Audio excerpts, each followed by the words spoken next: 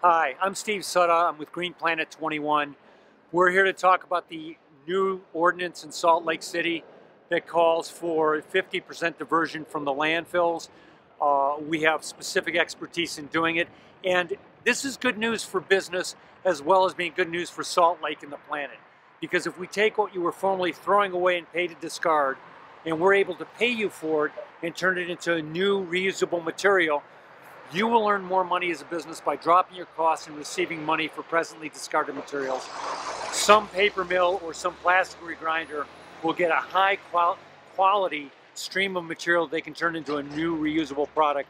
And frankly, the earth is a better place as a result. So I'm Steve. I'm with Green Planet 21. We've committed a million dollars here in Salt Lake City. We want to make this project successful. Give us a call.